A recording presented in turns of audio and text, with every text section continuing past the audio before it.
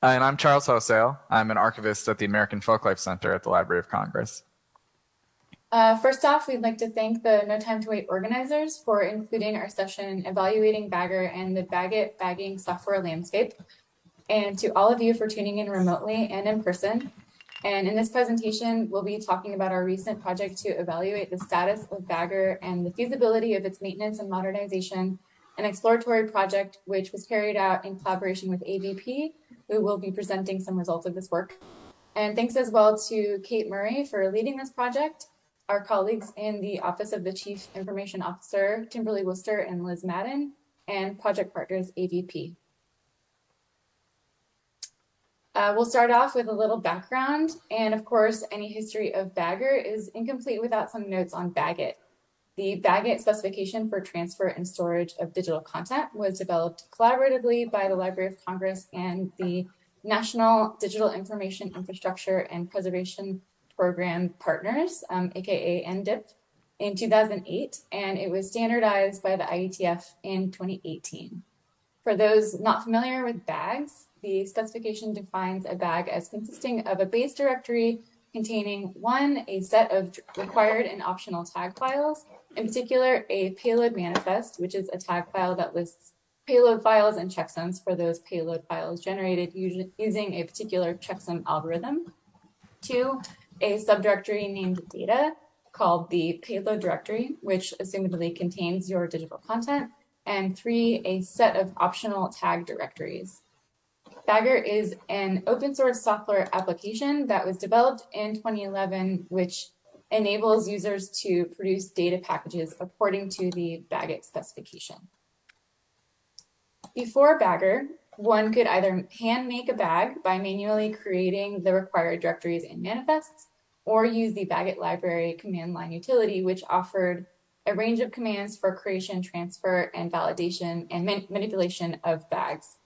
The desktop application serves as a graphical user interface to the Java-based BagIt library, and beyond providing dialog boxes and a visual reference for the bag contents, it includes features that are not available within the BagIt library command line utilities, such as the ability to customize and share project files, which are in essence customized baginfo.txt data.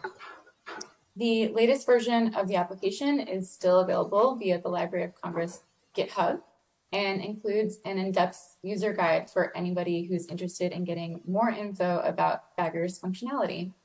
And with that intro, I will hand it off to Charles. Um, at the fall 2021 FADGI AV working group meeting, uh, I noted that Bagger had been receiving some shifting support at the Library of Congress and currently wasn't really actively maintained. Um, I knew that, that, there was a sense in the community that it was falling a little bit out of date. Uh, and this contrasted with the place I knew it held in DigiPres education and best practices documentation.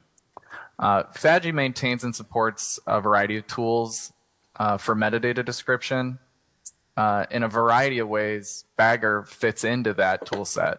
Um, it embeds metadata and data packages and supports entry level use of Bagit, which is an international data specification. I also know from experience that Bagger supports the AV community, and it's one of the ways to confirm fixity and integrity of digitized and born digital AV uh, in archives. So in 2022, um, Kate, through FADGI, is issued a solicitation for contracts to fix Bagger. Uh, the responses varied widely which indicated we didn't have a full understanding of the level of effort required and hadn't really scoped the request to specific development needs. So in 2023, we undertook this project we're here to report on. Our work evaluated uh, Bagger software and also the needs of current users. Uh, and this information that we've gathered will help inform Bagger's future. Next slide. Um, as Genevieve mentioned, there's a few different bagging tools the library maintains that are only sort of related to each other. There's Bagger, of course, and there's BagIt Java, which is another. Um, Bagger runs on an old version of BagIt Java, but not the current version. Um, you might be familiar with the old command line version of BagIt Java as well. Um, that's been deprecated. Uh, and lastly, uh, the library maintains ba- the BagIt Python library. Our project with AVP strictly focused on evaluating Bagger, um, but the comparisons with the Java and Python code naturally occurred um, during the software landscape review, and I know AVP will talk about that some more. So how is Bagger used at the library? Well, I'm an archivist at the American Folklife Center, so in my day-to-day job, um, I use Bagger to inventory content acquired from donors and also use it to package up um, preservation copies, so processed digital content that I deposit into our archival storage. It's one of our tools. Um, I also use Python, depending on the project, depending on the computing environment. I'll talk a little bit more about that. Uh, the manuscript division, my colleagues at the library, they also use Bagger in a similar way. They create preservation bags and put them into long-term storage. And they also use it to deliver bags um, to researchers in their digital research stations.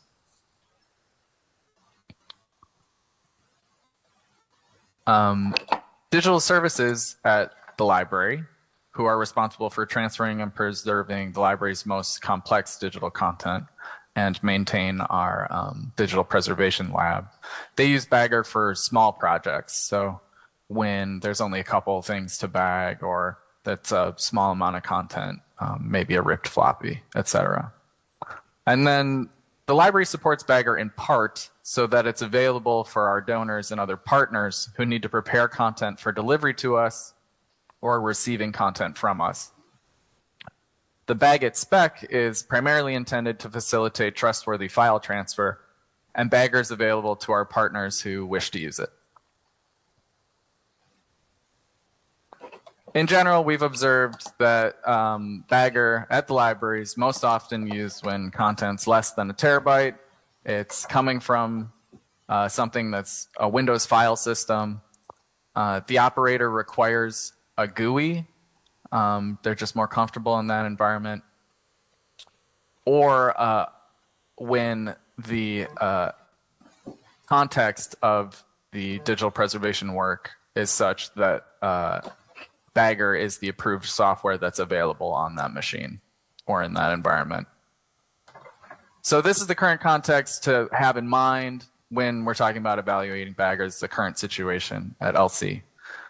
Um, and from here, uh, we'll pass it over to Seth to report on AVP's findings. Um, and then I will come back to join you for a wrap up and Q&A. Uh, thanks everybody for joining us and we'll see you soon.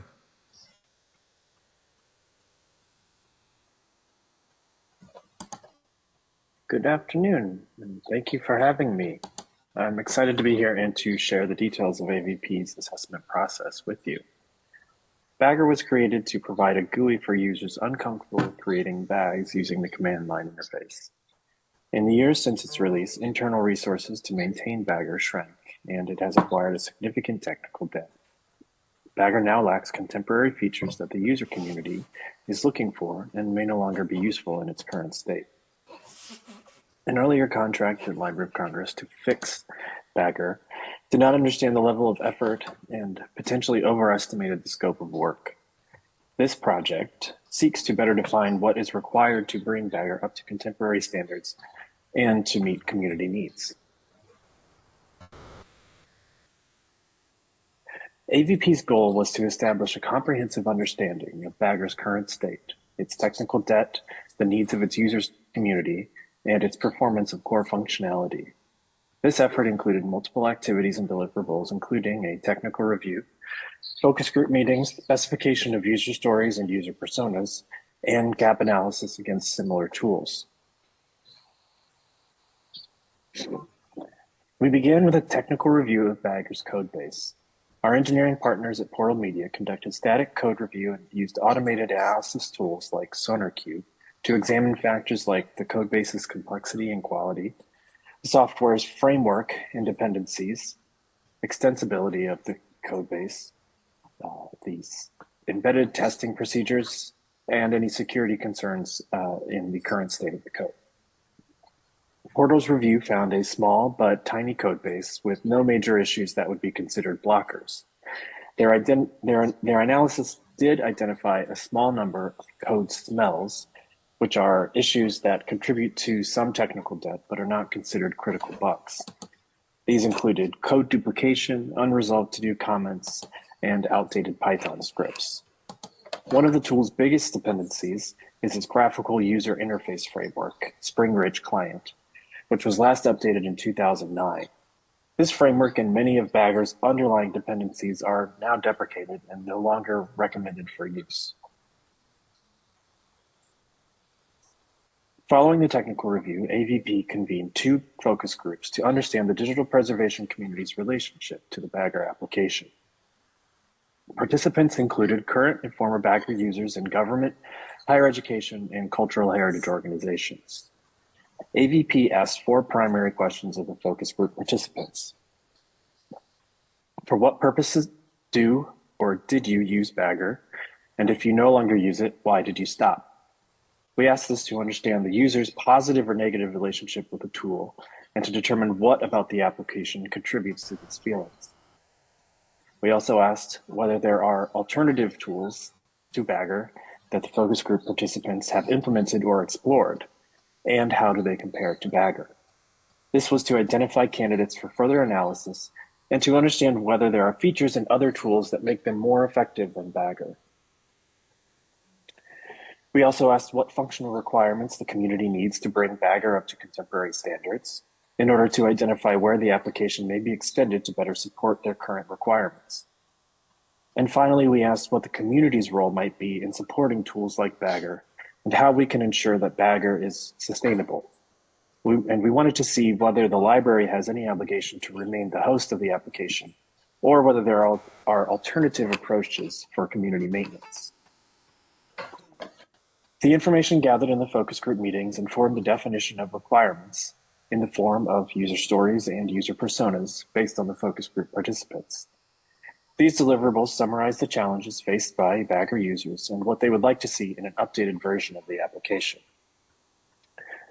The user personas capture the variety of Bagger users, their varying levels of technical proficiency, and summary usage scenarios to provide a holistic view of user needs, challenges, and the use of the tool.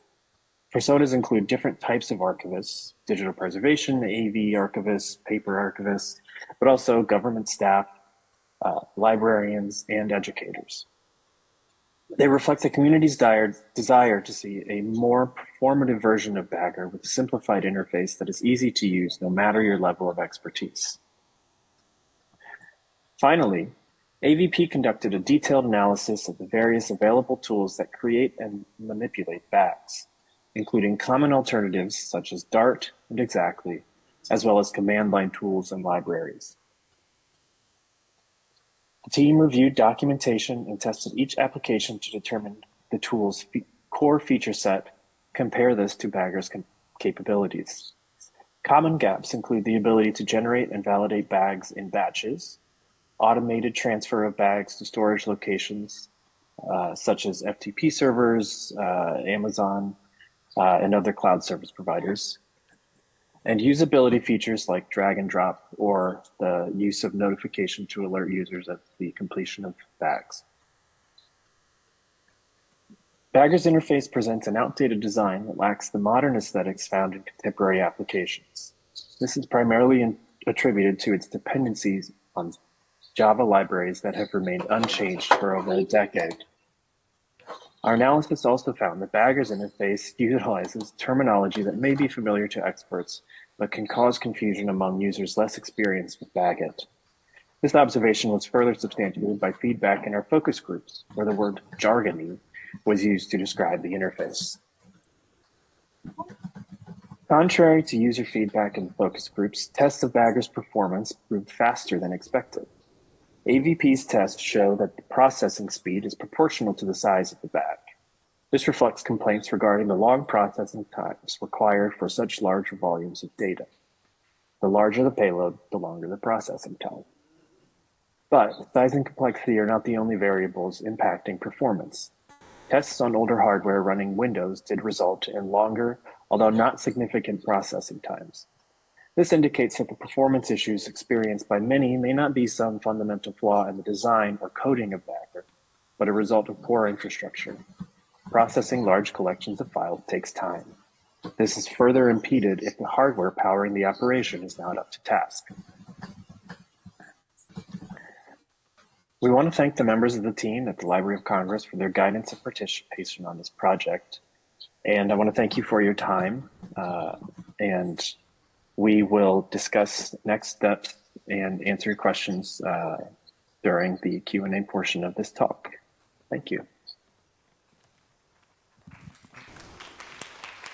Greetings, everybody. I'm Genevieve Havemeyer King, Senior Digital Collection Specialist at the Library of Congress.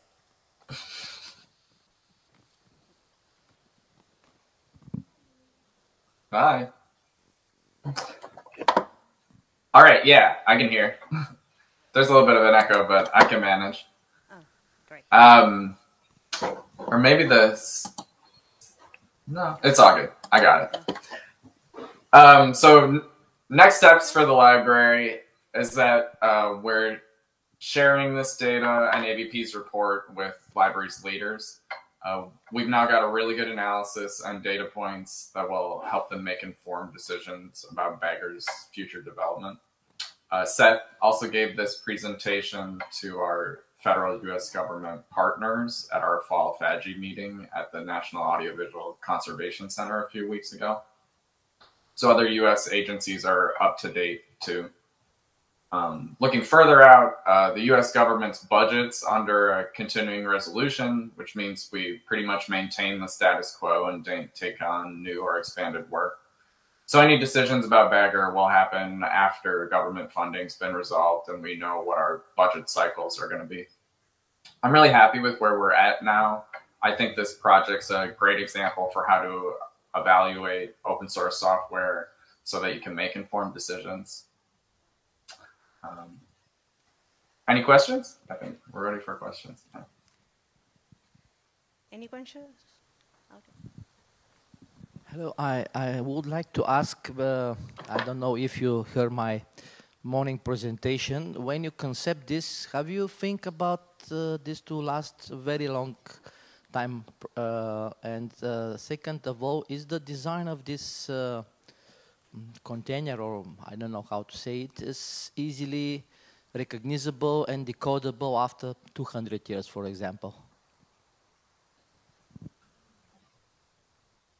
I only sort of got that question. Um, so is the question if the package would be readable in 200 years? Uh, the question is uh, if when it was concepted, was thinked uh, for very long-term preservation, where a long-term, very long-term mean 100, 200, 500 years, and if can be easily decodable if we not have specification after, let's say, many years, many, many years, it can be easily decodable if we don't have specification, uh, file format specification. Thank you. Um, so within bags, the fixity information is very readable, but it's just kind of packaging up different file formats. So the readability of those formats is dependent on broader preservation efforts. Yeah. And, and sorry, this is Kate and Genevieve. Correct me, right? So the the BagIt spec is an RFC, right? So that's highly defined, right? So there should be no issue with accessing and interpreting the BagIt spec, which is how those files are packaged together. So the and the tool that we're talking about, Bagger, creates the bag according to the BagIt spec. So it, I think is that the question that you're asking? It's an RFC. Yes. so it's, it's made for long-term um, uh, accessibility. And now I will hand the microphone back to the people who actually gave the presentation. Thanks. Thanks for the assist, Kate.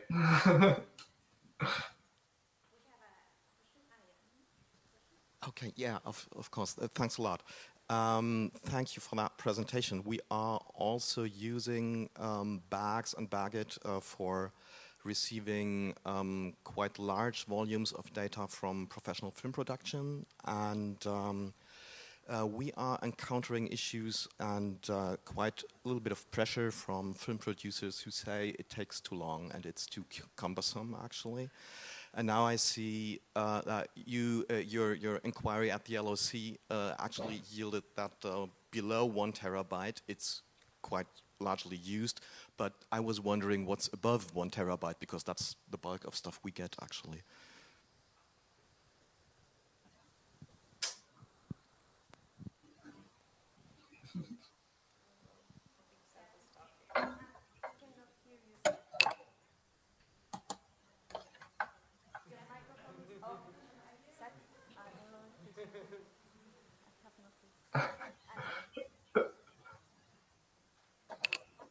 This one? Is that better? Oh, All right. I unmuted the wrong thing. Ah, now I can hear myself. Um, it- yeah, we we considered testing at hi- larger volumes. Uh, as you say, we we know it's often the case at the library that they are getting larger than one, five, ten terabytes. Um, we just wanted to use this as a baseline of the speed at which it can process the creation of the checksums. I, I, I think no, no matter what tool or system you're going to use, because it's generating checksums, it's going to take time to process through it. So when you're dealing with large volumes of data, Bagger is going to take time to generate the bags. I think what's missing is more of a user experience element, which would give some sense of the status of your bag creation or your validation so that what's cumbersome is not knowing what's happening and if the tool is still working. Um, so uh, I think that's something we would look for in a future state of Bagger, but also potentially different approaches to the underlying infrastructure of the tool that would allow the use of additional computing resources beyond what's on the computer to actually generate the bags. Because what's it's a desktop application so it's using your computer's resources which in most cases are probably limited. Um, so that's something we would look to in the future. Um, just to ra- wrap up on that too. Um, afc where i work does get some big bags and we need to also bag up big content and put it in our um, preservation environment. So sometimes we've done things like use different hash algorithms that compute faster maybe um, and uh, we've also uh, like BagIt Python allows you to run it in parallel, which can be faster for um, like bags that have multiple big files. But now we're not talking about Bagger; we're talking about bagging, which you know I'll scope it to Bagger now. Uh, hi, we have a question from Sarah. Is there a sense of who is using Bagger primarily and how that maps to AVP's user stories? I wonder what the split between archives users and non-archives users, if that data is known. Yes. So, uh, off the top of my, I mean, one of the distinctions is the technical proficiency of users. Um, we heard from a lot of users that have more coding skills or experience using the command line that they've started to use the Python library to write scripts. So they're completely bypassing Bagger because of its limitations and its performance issues. Um, but there are a number of users who are less technically proficient. For instance, those who are submitting bags to government organizations, whether that's as part of records collection process or submissions like Charles would receive. Um, oh, excuse if you can hear my crying child. Um, It's a holiday So- year. It's a holiday in, in the, over here. Um, so we do see differences. Uh, those are reflected in the user personas. Um, and I'll mute myself now so you don't have to continue listening to that. Uh, yeah, but our our focus groups pulled from the like kind of active bagger user community, which was primarily based in archives and uh, a lot of government archives and in specific. Yeah. I, I do want to point out that Bagger, the application itself, is written into the state records. Uh, I don't even know what, what the term is, uh, but but the rules regarding submission of state records, one of the users that joined our focus groups had it written into their code. Uh, so it's it's part of the law at this point, I guess. Thank you very much. Well, we have a break now, 15 minutes break. We have to be back at, um, yeah, please. Thanks, everyone.